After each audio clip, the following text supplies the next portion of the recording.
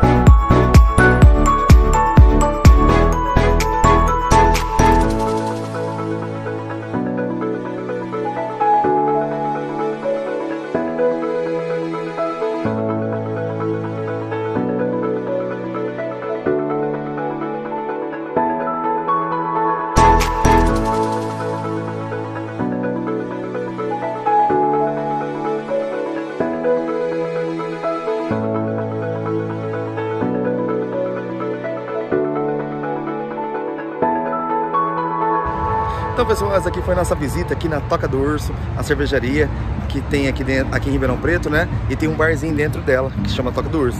Se vocês gostaram do vídeo, compartilhe, se inscreva no canal, deixa aquele like, valeu, obrigado, fiquem com Deus.